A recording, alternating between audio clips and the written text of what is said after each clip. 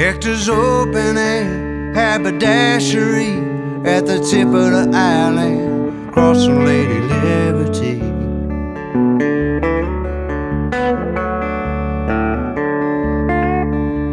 He sells casts proclaiming New York number one. But now the tourists don't come. So he sits on a bench shivering in the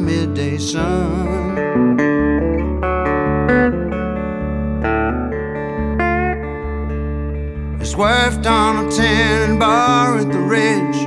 Now they sleep on sandbags underneath the Manhattan Bridge.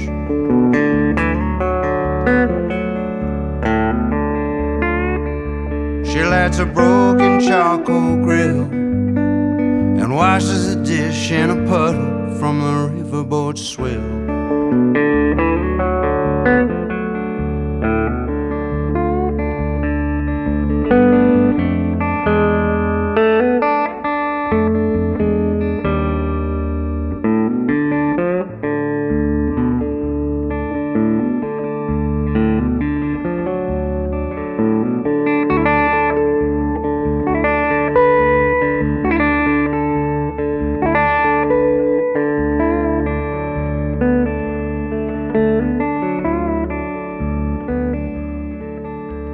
It's all too painful when you stop and look back. Hector says as it takes, hit a crack.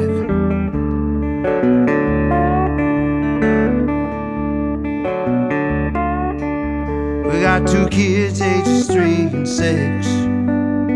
How much longer can we go on living like this?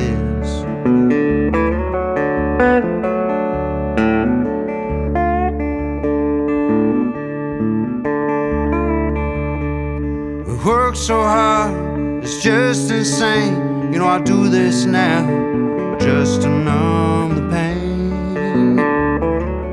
Numb the pain. Late at night when the kids are asleep, Hector stares at the river and begins to weep.